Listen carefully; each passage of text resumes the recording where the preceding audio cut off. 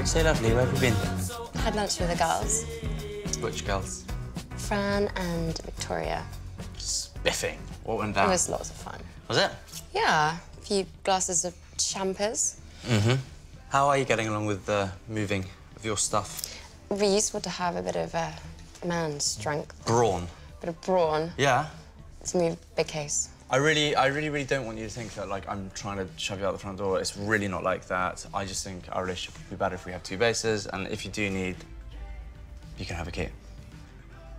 Just let me know, like, you know, kind of when you're gonna be here type thing. Stupid, I'll be here when you're here. Okay, fine. So we could use one key but. Okay. If you really want a key, you can have a key. I don't mind you having a key. You don't have to have a key if you don't want me to have a key. It's not that I don't want you to have a key, I just don't really know what you'd use the key for, because I, I will be here when you're here. But you can have a key if you want a key. You want a key? I don't mind. Have a key. Sure. Anyway, guess who I saw? Who? Steph. I think she was jogging or something. Right, okay. Or jogging. Jogging? We don't know.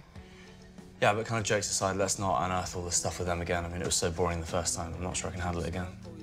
No, I completely agree. Sweet. I'm not that sort of girl anyway. I know, but but come here.